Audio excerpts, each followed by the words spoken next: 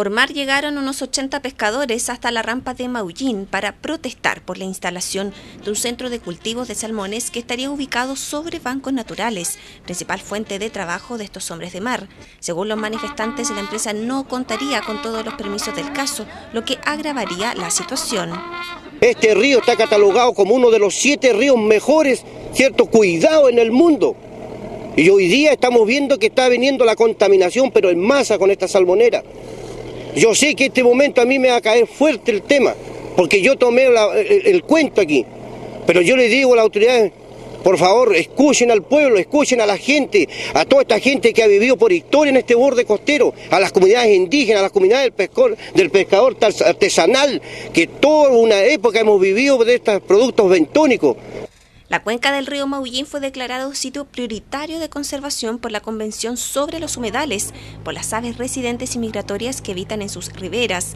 Otra razón para oponerse. Y hoy día creo que esto va a traer consecuencias. Ojalá sea positivo para nuestro sector alguero, porque lo único que queremos nosotros es que las salmoneras no existen en nuestra comuna, porque nos traen daño, perjuicio a nuestros bancos naturales. Y el día de mañana nuestros hijos digan heroicamente y con el corazón en la mano, gracias padre, gracias abuelo, porque lo has dejado una herencia que hoy día estamos disfrutando.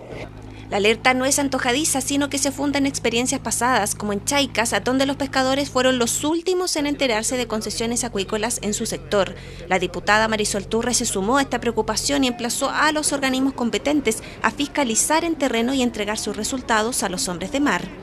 Yo estoy solicitando a la Autoridad Marítima, a la Zonal de Pesca y a la Autoridad Medioambiental que se constituya en terreno y que efectivamente verifique si se está afectando o no las fuentes laborales de los pescadores artesanales de Maullín, así como también si se puede afectar eh, la ribera norte. Así que ojalá aquí se contacte tanto la empresa como las autoridades con los pescadores artesanales y para efectos de buscar un equilibrio en el desarrollo de actividades que no tienen por qué ser opuestas.